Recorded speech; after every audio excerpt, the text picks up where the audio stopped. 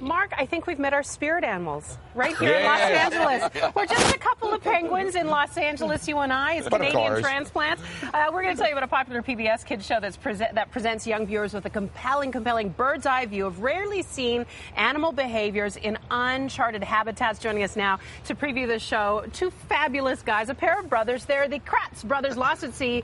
Uh, we have Martin and Chris here. Good morning to Hey, the pair of you. Good morning. Tell us about the show. I, the kids would love it, but I bet I would tune in and be fascinated. Yeah, well, it's an animal show for kids, and um, and basically we each each episode is a new animal, and we go on adventures both in live action and animation, discovering new things about animals. And we're launching our second season with Lost at Sea, Congratulations. which is our special, which features dolphins and blowfish. Oh, and we're excellent. starting our exploration of a lot of sea creatures on Well, we're going to explore season. these guys. Yeah, They're and penguins had to be my favorite animal even before I saw the movie. Remember with the movie Penguins? Yeah, yeah. That- I mean, that just brought such a different. Don't like, wave your hands Well, if there's well, a I'm sorry, yes, yes. Where are these guys from? And, uh, and, These uh, they're from southern Africa. They're black-footed penguins, and uh, this is a pair. They mate for life. really? Yeah. yeah.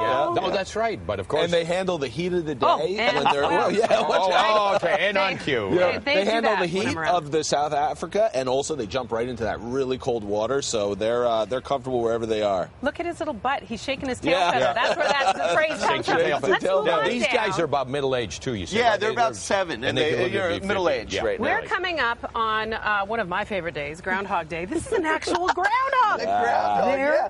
huge. Huge. Yeah, they get even bigger than this. They They, do can get like not. 30 pounds. Yeah, they can get really Can big. I touch? Yeah, Sure, sure. yeah. Okay, but the back, right? Yeah. Does he Their throw his thing is quills? to eat, as No, you know.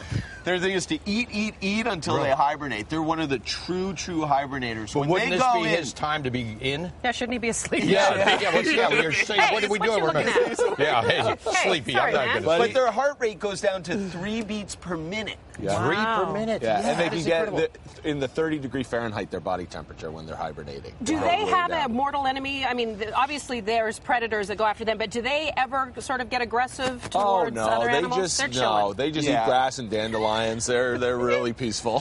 that is hysterical, and Yeah. they look very much kind of like a beaver or any other hedgehog. I mean, they're Yep, that same family. Exactly, they're in the marmot family. Okay, Yeah, well, yeah. we're going to let They're the largest do squirrel. Of it, very, if you saw a squirrel like that in the tree, now this This is a cool animal. Here's an Yeah. animal related to a raccoon. This is Get a on over here, Check him out. Say his Yeah, name again. Kinkajou. And where No, is it from?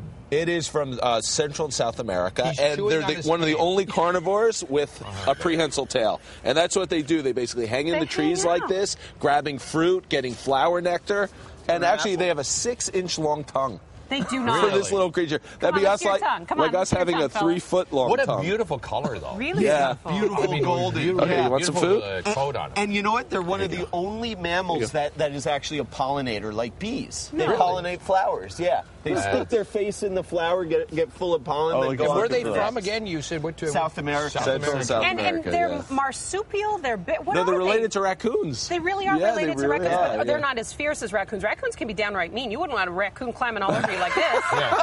Well, these guys can be tough too if they, they? want to. This one is friendly though. Super friendly. And how old is this one? I just love the way they can hang. Hang, yeah, Is this a young so one or no? Yeah. yeah.